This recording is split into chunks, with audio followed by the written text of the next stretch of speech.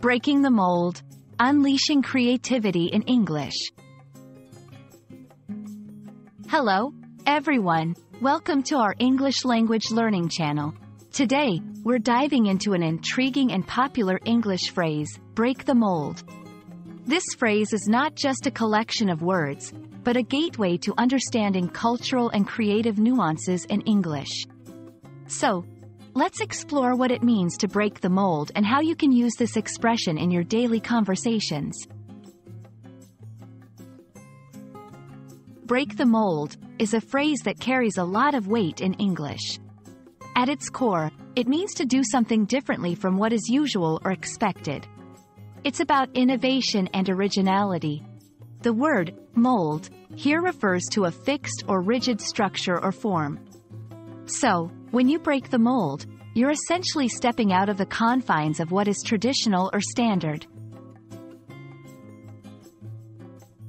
This expression has an interesting history. Originally, it related to casting objects in a mold, like pottery or metal. When a mold breaks, the resulting object is unique, differing from others made in the same mold. Over time, break the mold became a metaphor for breaking away from conventional patterns or practices.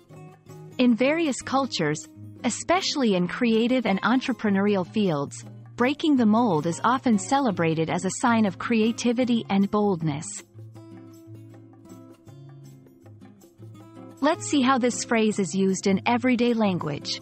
1. Innovators in technology, Steve Jobs really broke the mold with the design of the iPhone.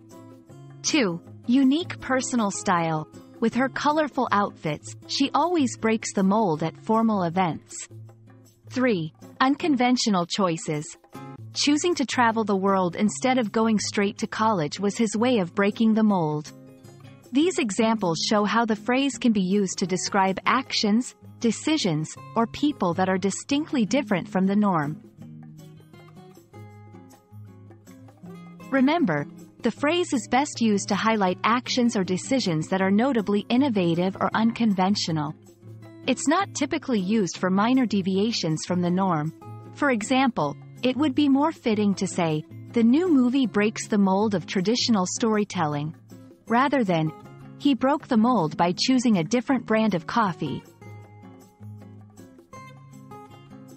And that's a wrap on Break the Mold. We hope this video has helped you understand and appreciate this dynamic expression. Remember, language is not just about words, but the ideas and cultural practices they represent. Keep experimenting with phrases like this to add flair to your English. Thanks for watching, and don't forget to break the mold in your language learning journey.